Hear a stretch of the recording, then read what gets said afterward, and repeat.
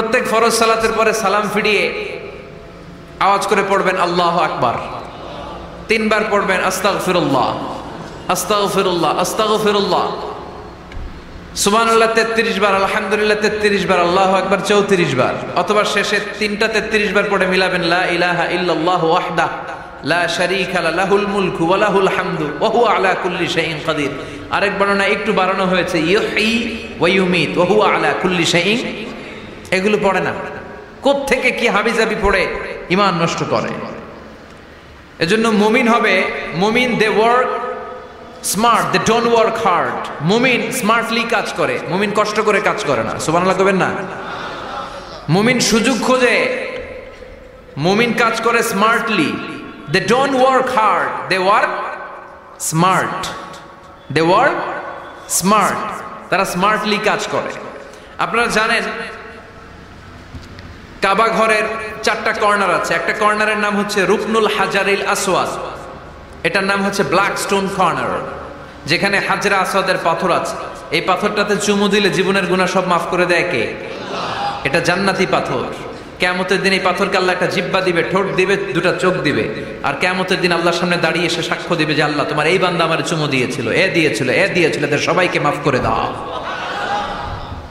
তাই হাজরা আসাদের কর্নার আর কাবা ঘরের যে স্বর্ণ দিয়ে খচিত দরজা, এই হাজারা আসাদের করোনার আর দরজার মাঝখানে ছোট্ট একটু জায়গা, এটারে আরবিতে বলে মুলতাজাম।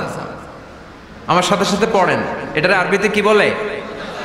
ইলতাজামা ইয়ালতাজিমু ইলতিজামান, মুলতাজিম মুলতাজাম মানে হচ্ছে যেটার সাথে লেগে থাকা হয় সব সময় সাহাবারা এই জায়গাটার সাথে লেগে থাকতেন। পেট লাগিয়ে, গাল লাগিয়ে, চোখ লাগিয়ে, মুখ লাগিয়ে কাঁদতেন আর দোয়া করতেন। আর এই জায়গায় পেট লাগিয়ে, শরীর লাগিয়ে দোয়া করলে ওই দোয়া আল্লাহ ফিরিয়ে দেয় না। কিন্তু ওই জায়গায় দোয়া করার চান্সও এত সহজে পাওয়া যায় না। ধাক্কা ধাক্কি, যুদ্ধ করতে হবে আপনাকে তো এক মাওলানা চান্স পাইছে ওইখানে, অনেক ধাক্কা ধাক্কি করে। খাইয়া দেয়া শক্তি কইরা ধাক্কা ধাক্কি, পাকিস্তানি পাঠানি যেগুলো আছে। আট দশটা পাঠান একসাথে দাঁড়ালে ওগুলার জ্বালায় কিছুই করা যায় না। এইভাবে তাকাইতে হয় ওদের দিকে। তাকাইলে আপনার টুপি পরে যাবে পিছনে। ইয়া উঁচু লম্বা। তো এই মাওলানা অনেক ধাক্কা ধাক্কি করে কোন রকম ওই মুলতাজামে হাত লাগাইতে পারছে। এখন আবার তো আরেক ধাক্কায় কই যে চলে যাবে কোনো হিসাব নাই। তো সেইখানে দাঁড়াই আল্লাহর কাছে দোয়া করছে। যেহেতু এই জায়গায় দোয়া করলেই আল্লাহ কবুল করে, এখন কয়টা চাবে আল্লাহর কাছে? সময় তো নাই। সে ওখানে হাত লাগিয়ে দোয়া করতেছে, আল্লাহ, একটাই দোয়া জীবনে যত দোয়া করছিলাম আর করব, সব দোয়া তুমি কবুল করে নিও। যত দোয়া জীবনে করছি, আর মরার আগের দিন পর্যন্ত যত দোয়া আমি করব, এই দোয়াগুলো কবুল কইর। এই একটাই চাওয়া। আর কিছু চাইলাম না তোমার কাছে। তো কিছু বাকি রাখছে? কথা বলেন।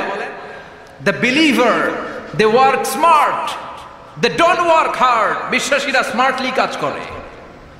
ওরা শক্তি খাটিয়ে ঘাম ঝরিয়ে কাজ করে না। ওরা সুযোগ খোঁজে, ওরা ঝোঁক বোঝে কোপ মারে। ঠিক কিনা? যেখানে সওয়াব বেশি, অল্প কাজে প্রফিট বেশি, লাভ বেশি, ওইটাই না মানুষ করবে, ঠিক কিনা? এই জন্য যে সহি আমলগুলোর কথা বললাম, ফরজ সালাতের পরে আজকে থেকে এগুলো আমরা করব। মনে থাকবে? ইনশাল্লাহ পড়েন। আর জোরে পড়েন ইনশাআল্লাহ।